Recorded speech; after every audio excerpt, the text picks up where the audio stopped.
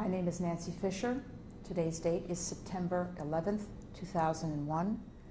I'm here to interview the survivor, Miriam Tauber, birth name Mirka Indich, in her daughter's home in New York City, New York, USA. The language of this interview is English.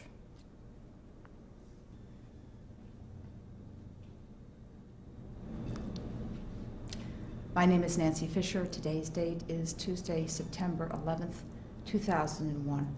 I'm here to interview the survivor, Miriam Tauber, birth name Mirka Indich, in her daughter's home in New York City, USA.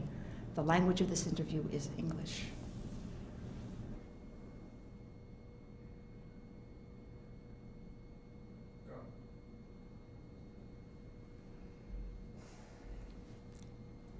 Before I begin this interview, I would like to say that there has been a devastating attack on our city, New York, and on Washington, and we don't know what the day will hold. And we delayed the start of this interview um, by three hours and have decided to attempt it.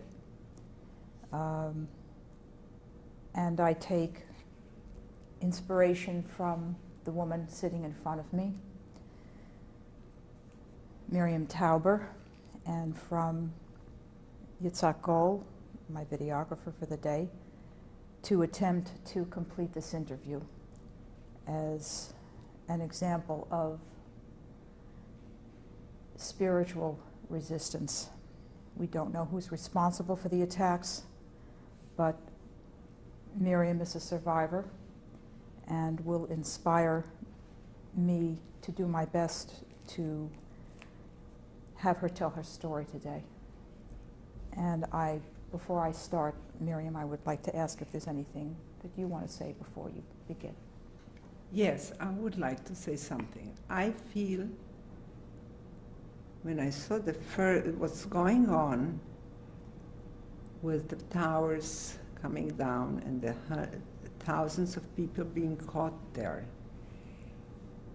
I brought me back to the days when we lived in such fear and such unknown.